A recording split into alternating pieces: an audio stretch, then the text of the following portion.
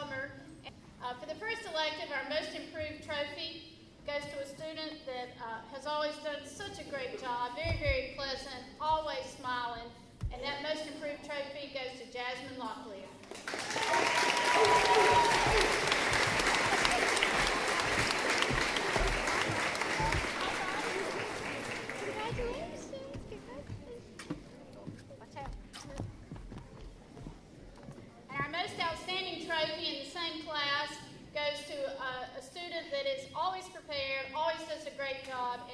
Definitely serves as a leader, Nikki Strickland.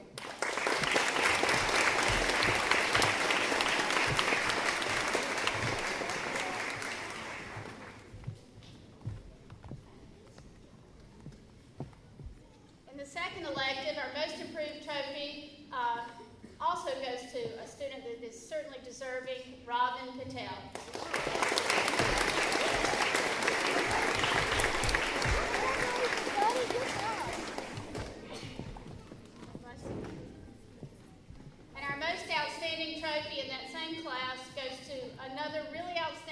Person that is always prepared, great attitude, good worker, practices a whole lot, I think, I know, Caitlin Slyer.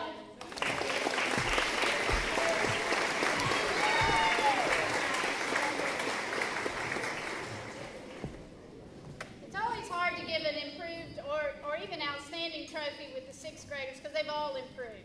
Um, I'd like to say we start from scratch. Most of us did start from scratch, but they've certainly come a long way. But I'm really, really pleased with them. Our second and final selection with the sixth grade, hopefully you'll recognize it, Linus and Lucy.